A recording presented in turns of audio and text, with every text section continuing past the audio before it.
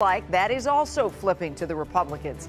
Mike Valerio is covering what this means for you, but first let's get to the numbers. How big was that swing, Mike? Well, Leslie, it was bigger than people expected, and to break it down to sort of visualize it for you, we're going to turn to the big board right now. So here you go, the Virginia House of Delegates, 100 seats total. Usually in, you know, years past it has split pretty evenly down the middle, but how it started right here. This is Monday, 55-45 Democrats solidly in control right here, but how it's going right now. 48 Democrats, 52 Republicans with just a two seat majority in the lower chamber. So what does that mean? Republicans are likely going to begin in earnest with a Youngkin campaign promise, two of them in short order.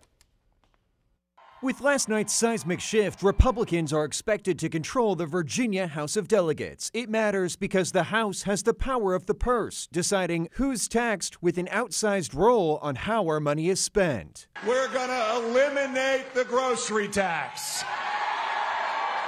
Suspend the most recent hike in the gas tax.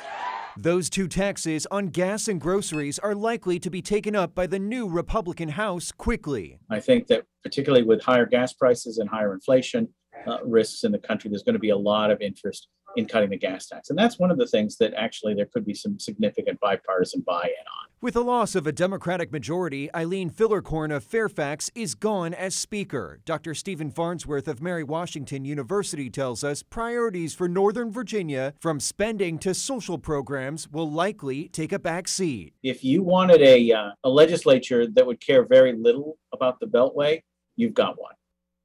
Okay, so something we want to point out, though, Democrats still have a majority in the state Senate, 21 to 19. That means that any controversial bills that Youngkin proposes, excuse me, from education to abortion, they face a roadblock right there. And the next state Senate election is in November of 2023.